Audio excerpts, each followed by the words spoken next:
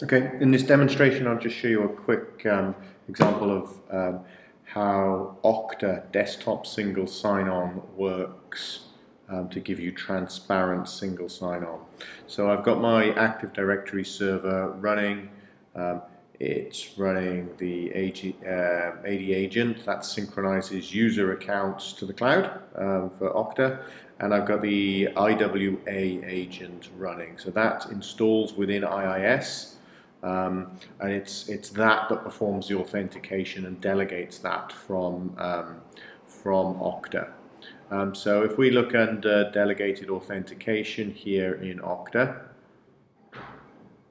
um, what we'll see is we've got the agents connected, um, we're configured, uh, my, my domain is welshgeek.okta.com, um, and the configuration in here basically says, you know, when um, when it needs to authenticate, it's going to redirect users to dc2welshgeek.net slash IWA, um, and it's that that's going to do the authentication. Um, all of this is based upon the routing policy. My routing policy says, you know, if the user is coming from one of the uh, configured networks, um, then do the desktop SSO. Otherwise, it'll um, otherwise it'll just authenticate normally in the forms authentication.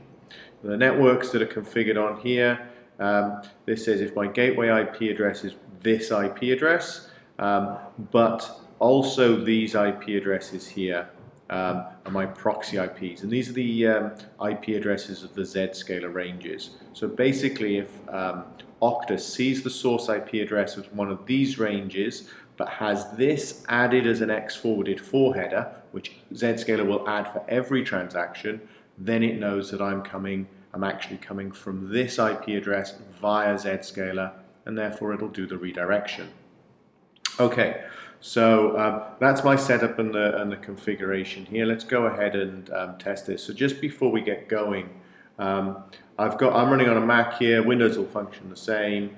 Um, got a kinit, tells me that I've got a Kerberos ticket and I've just got the ticket granting ticket and we'll come back and, and take a look at that later on.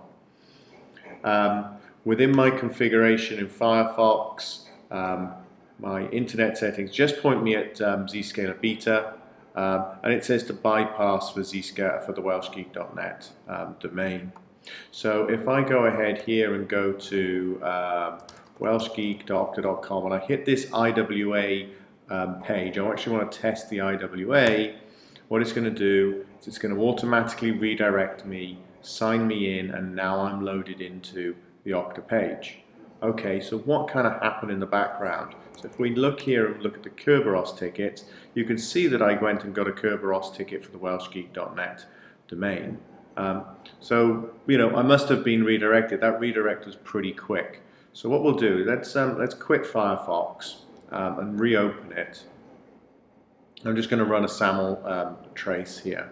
Um, this is um, SAML, uh, SAML head, SAML tracer. So let's go back to that welshgeek.okta.com IWA. There it is. Um, and follow the sign-in process, and away we go.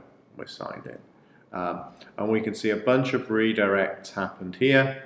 I went to the IWA page, Okta CDN happened, um, and from this it detected my source IP address, and then it redirected me to IWA, um, on the Welsh Geek server.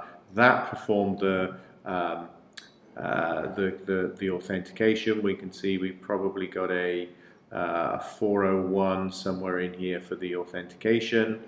Um, and uh, where is it? Somewhere in here we got. We're going to get a redirect back to Okta, and then I'm signed in. So basically, you know, from the if we from the, the, the redirects and source IP addresses, um, we we know that we got um, authenticated um, transparently. Now, if we log into Zscaler Beta here um, and take a look at the um, the transactions, uh, Web Insights. Let's go for the logs for the last uh, five minutes. Um, and we'll go uh, location.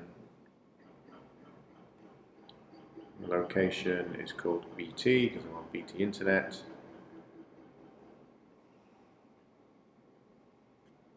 Look at those transactions. So we've got a we've got a we've got a no auth because of course we don't want to authenticate the authentication traffic. Um, so we've got this no auth traffic, um, and we can see um, in here, you know, the Okta the Okta URLs passed through. We went to um, welshgeek.okta.com, uh, welshgeek.okta.com, Okta CDN. We redirected, and then we came back and we were authenticated. So yeah, the, hopefully this uh, gives you a bit of an understanding of the, the process that goes on. We can dig into more details if necessary. Thank you.